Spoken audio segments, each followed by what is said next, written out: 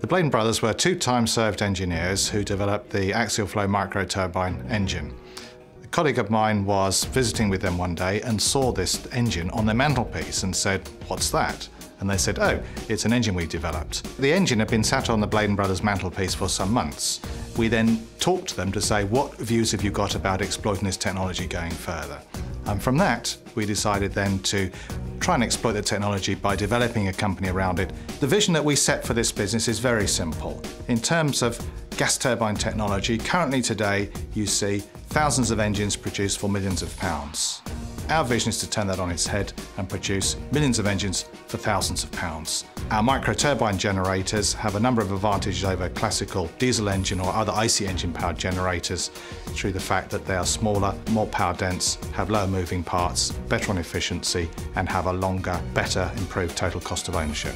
Engines such as this are used in aerospace applications, but we had a slightly different vision, and here we assessed there were two potential markets. One for the forthcoming uh, range extender market for next generation electric vehicles, and a secondary market at that time we envisaged as static power generation for, for areas where uh, portable power is required. In 2010, some engineers at Jaguar Land Rover saw our technology and published in a journal, and we were asked to go and present it.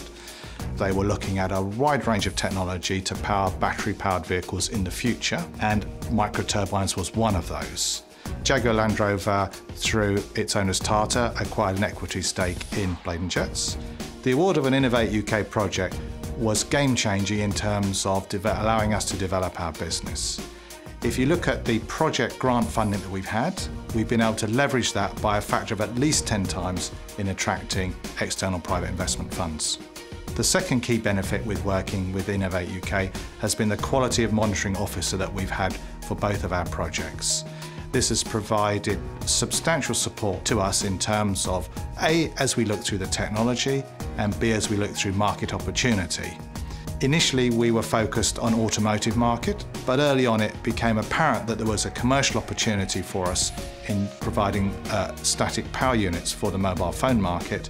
And again, our, the pragmatism of our monitoring officer allowed us to move the project into areas that would bring us a quicker commercial return Static power generation is a market where uh, decentralised power is required in a particular location.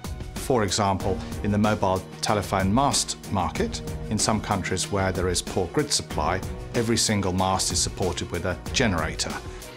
We started off originally as two people with the Bladon brothers. We then moved on to four.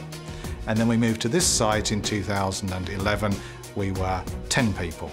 Four years later, we now sit at 55, and as we move to the proving factory, that will generate something like another 250 jobs, both directly and indirectly in the supply chain, to support our first year production of something over 1,000 units.